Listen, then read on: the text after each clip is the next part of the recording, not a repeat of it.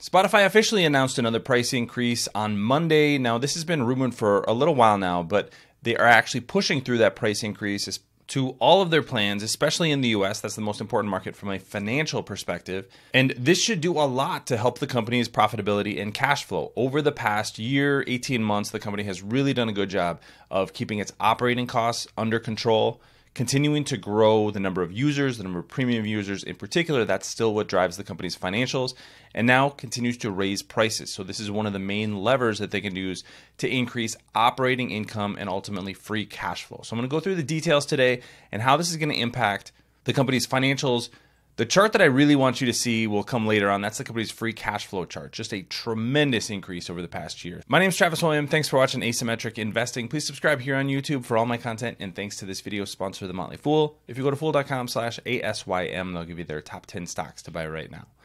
So let's look at the announcement today.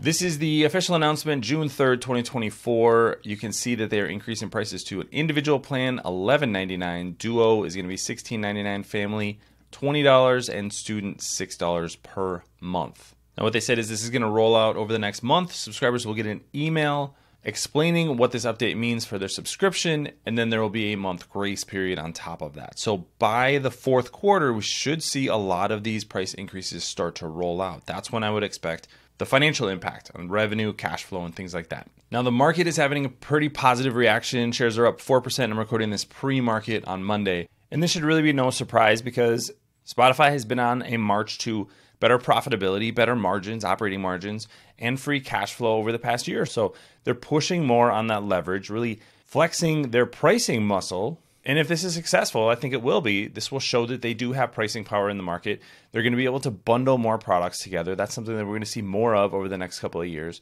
And their free cash flow should increase. I have said that they could get to a billion dollars in quarterly free cash flow by the end of this year. This is the kind of move that will make that possible. Let's go through a couple charts that show this operating leverage in action. In green, you have gross profit. Now, gross profit for Spotify is going to be about 30%, 25 to 30% of their revenue. They have to share about 70% of their revenue with record labels, primarily record labels right now, but also publishing studios for books, basically content producers. They don't own their content, they're basically renting it from someone else. So that's why those suppliers do have pricing power in the market. So they're able to command about 30% of revenue. But gross profit is going up as revenue increases. What has been a challenge for Spotify, if you go back to the December 2022 numbers, and these are all trailing 12 month numbers, you can see that Spotify's operating costs were increasing much more quickly than their gross profit was. That's operating leverage in action, but it's in action in the wrong direction. What you want to see is revenue and gross profit increasing faster than your operating costs are increasing. So as you see the blue and orange columns, that's the SG&A and R&D expenses come down over the past year, you're also seeing gross profit go up. That is how you get operating leverage in the business. And this is why Spotify stock has done so well because they've been cutting costs as their profits have actually increased. What has that meant for free cash flow? This is the chart that I think every investor needs to know about Spotify. Free cash flow bottomed basically middle of last year. And again, these are trailing 12 month numbers. Over that period of time, and this is as gross profits have increased and operating expenses have come down, you have seen that free cash flow has just shot higher and the stock has responded as well. This is exactly what investors want to see. They want to see that you reach scale, they want to see that you have pricing power, they want to see you have operating leverage. And that's exactly what I, and that's exactly what Spotify is starting to prove with its business. I do want to show this free cash flow chart in one more way, and that is with quarterly numbers.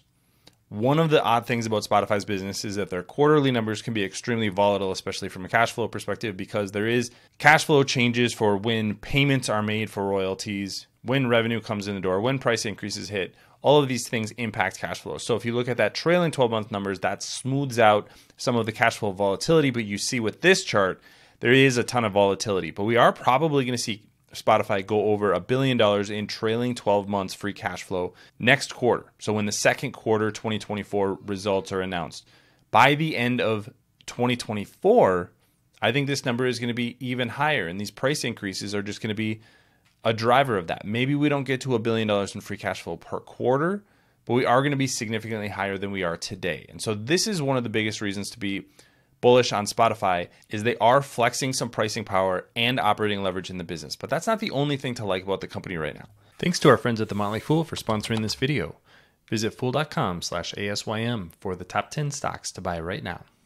One of the things that we did not see change with the current announcement, anyways, was changes to the bundling that Spotify has been doing with audiobooks.